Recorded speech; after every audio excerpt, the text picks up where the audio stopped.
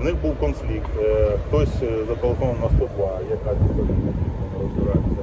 Прибули поліцейські і знаходились, хотіли спілкуватися, було відкрито вогонь по поліцейським. Одночасно, враховуючи там е, дрон, ну візуально я можу бачити по слідах, виходячи з власного досвіду, але все остаточно експерти скажуть. Е, Дробові поранення нашому поліцейському дуже важке і одного зачепило. Це Скажіть, будь ласка, е, якась зброя нам ми спілкувалися з родичем е, цього чоловіка. Як він казав, що є зареєстрована мисливська зброя. Чи була якась ще зброя? мисливська. Я сказав мисливська зброя. Е, Попередньо ми не бачили реєстрацію, якщо можливо в інших регіонах. Ми це ще остаточно з'ясуємо. Але на кваліфікацію я відразу так ремарку. На кваліфікацію того, що він скоїв, це не впливає. Е, Зараз проводиться огляд, е, обшук е, приміщення, огляд вибухотехніки, в тому числі прибули з тією метою, якщо буде знайдено щось, щоб це вилучити максимально безпечно для оточення. Можна щодо штурму ще Да, пос- Да, якщо є я хотів сказати, ви да, давайте я закінчу. Що ще? особу затримали, відомо? Він якийсь там... Ну що відомо, що він голий до пояса мужчина, який хотів спалити пов дому і цього. Ну вибачте, тільки ми вийшли. Я ще Трохи не це. взагалі зараз ми все це з'ясуємо. Можливо, він. Я не, не переслухав ці записи. Що? 348 Начальник управління, Де трошки, будь ласка, сніжку. начальник управління КОРД міста Києва, УНП Національної поліції. Розкажіть, будь ласка, як тривав штурм, що чи якийсь спротив е, здійснював цей чоловік? Так, як, чи- як чоловік себе поводив? Близько 11 години від керівництва головного управління поступив наказ прибути на дану адресу. В зв'язку з тим, що невідома особа обстріляла поліцейського, який важко поранений в руку, і е, цивільна особа дошукове поранення обличчя. Прибувши на дану адресу, визначили, де він знаходиться, е, підійшли до дверей, спробували вести перемовини. Е, Вели перемовини спеціалісти головного управління, керівництво головного управління перемовин. Потім вели перемовини вже спеціалісти підрозділу КОРД. Е, Під час перемовин е, він вів себе дуже, скажімо так, психічно неврівноважено, погрожував застосуванню зброї, погрожував підпалити квартиру. Потім повідомив, що він двері, він може, він хоче вийти, але не може відкрити двері.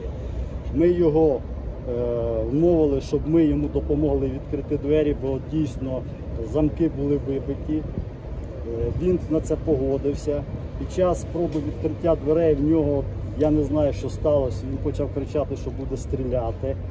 Але в зв'язку з тим, що була реальна загроза, яку він погроза здійснена, здійснення е, підпалу будинку, застосуванням всіх засобів пожежогасіння, ми зайшли приміщення ну і затримали цю особу як- зі зброєю, яка була в нього. Він був зі зброєю в руках чи Е, Зброя була не в нього в руках, вона була поруч. Що дружина поводилась? Що вона в цьому момент Дружина робила? поводилась дуже агресивно. Ми її намагалися мовити в зв'язку з тим, що замах на поліцейського, поліцейського, а також інших осіб могли, вибачте, за цинізм вбити.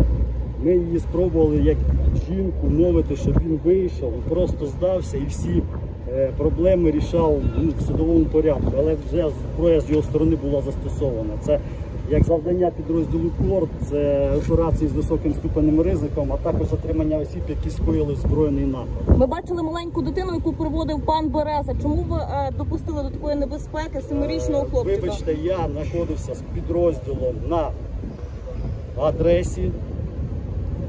Там нікого з цивільних не було.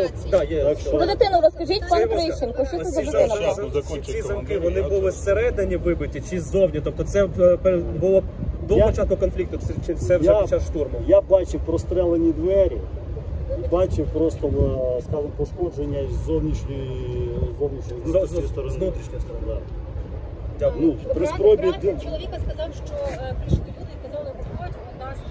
Все буде з'ясовуватися. Розумієте, розумієте, моє завдання це затримання озброєних злочинців. Ну, так, Я думаю, я на це Ви ну, виконали. на це питання Спасибі. Сергій. Да, розкажіть, будь ласка, що Ну, за народний так, депутат, давайте чому він проводив питання. дитину, власне, семирічний хлопчик чи скільки йому Ну, років? я не бачив цю ситуацію, що підкажете, коли це було. Під Пан час Береза провів маленького хлопчика. причини приходять тієї групи, яка не була в. Все з'ясовується. Сліди крові просто починаються. Всі йдіть обережно, щоб не